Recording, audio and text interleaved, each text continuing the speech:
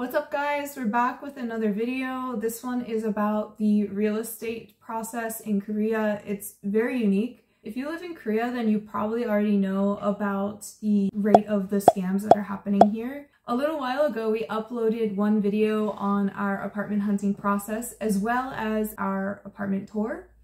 And with 50 million won on the line, we took every precaution to ensure that we were not going to get over. This video is geared towards Jeonse just because it's such a massive sum, but it's not just for those who are looking at Jeonse.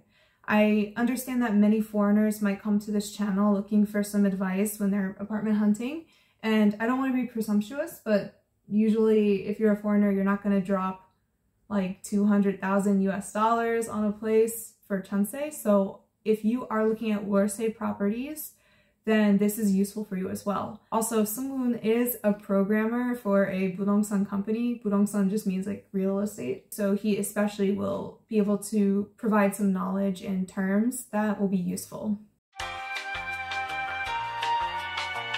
I'm just going to quickly explain when you see certain numbers what they mean. So I'm on Zigbang and you can click on your options over here. Let's start with Wolsae. There will be two numbers. This top one is the big deposit you're willing to put down for a property. So let's say you're willing to put down about 40,000 US dollars. That's 50 million won.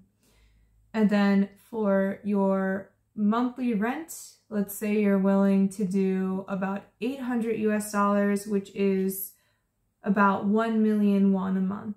That's how this works. So you can put in your options, scroll around on the map to see what you like, over here, you're going to see like 3000-70. So this 3000 means 30 million deposit, which is about 20 something thousand US dollars. And 70 means 700,000 won, which is about 600, 550 US dollars. And then if you come over here, you can switch to Jeonse. And remember, Jeonse is just a really big deposit. So what you want to do is just select what you're willing to go up to. I'm willing to go up to Ilok. There's only one property in this whole vicinity. Okay, here we go. Let's take a look. It is about 100 million won straight up, which is the equivalent of, I guess, 70,000 USD. And then hopefully you'll get that back when you move out. After you find the place you want to move into, the first thing you have to do is to ask your real estate agent uh, for 등기부 등본. 등기부 등본? Yes. So 등기부 등본 is basically a resume of the building, mm. the property. It consists of three parts, 표제부, 갑구, and 을구. 표제부 is is like the information of the building. Kapgu is the ownership of the building. You want to especially pay attention to Eulgu.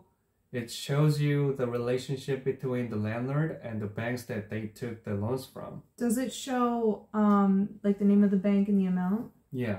Okay.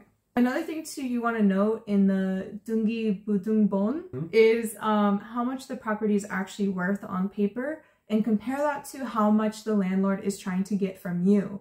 So don't quote us on this, but the rule of thumb we were going by when we were looking at Jeonse property was if they were trying to sell us the property or rent us the property for 80% of the value or more, that's a really big red flag. What we have heard is it should be around 70% or lower, but usually it's 70. Yeah. Okay, yeah, so 80, 80, and over is the danger yeah, zone. If the landlord goes bankrupt and the house is auctioned out, the bank has a higher position to get their money back before you get your deposit. You can prevent this with two things. The first thing is 전입신고, which means you're registering yourself in the system with the new address. And the second thing is called 확정일자, which means the date you've moved in is confirmed. so in order to do this, you need to go to your local community center, which is the Jumin Center in your new neighborhood, and you need to bring your ARC as well as the contract for them to register you in that address and they'll stamp it on your ARC. You don't need to go to immigration office. Then you will have this right called the Taehangyang. It literally means a right to fight against. So even if things go bad, you still get your money back because you have 대항력, at the very least, you're eligible to apply for the insurance. So this is actually something that you need to do anytime you move. You have to register yourself or you get fined. So whether you're you applied for Jeonse or Wolsae property, you need to go to your Jumin Center and do this. There's one thing you need to know about Hwakjeong Ilja. It's only valid from the day after you file it. So if the landlord takes more bank loans the same day you're moving in, then the bank will have the primary right to get the money back. Okay, so let's say I filed it, today is February 22nd. Let's say today I filed my 확정 일자. Yeah. That means from tomorrow the 23rd, it is like valid. Yeah, that's right. So let's say I filed it today, like so I'm at the Jumin Center doing that, right? Yeah. And then the landlord goes to the bank and takes out more loans, then mm-hmm. I'm screwed. Uh pretty much. Cool. Yes. Good to know.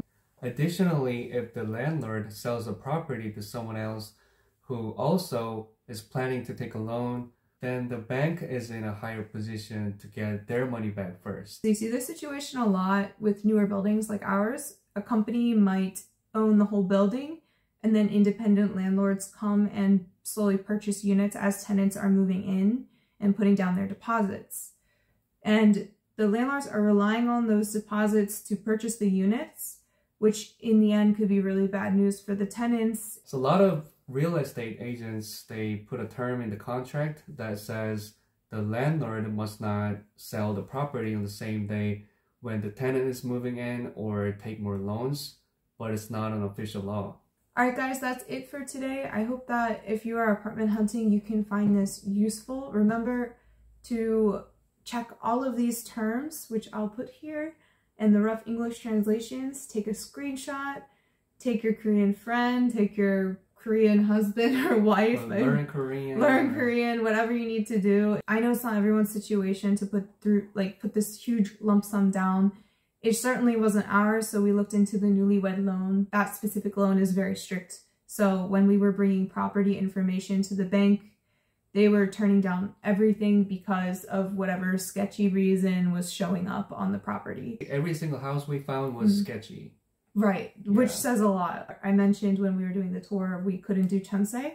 That's why. We just couldn't get the loan. In the end, Wolsae was best for us, and we were able to protect our 50 million won deposit. We're not experts. Just take it with a grain of salt. These are the terms. These are exactly what they mean and what we understood it as. Thank you for watching, and I hope it helps.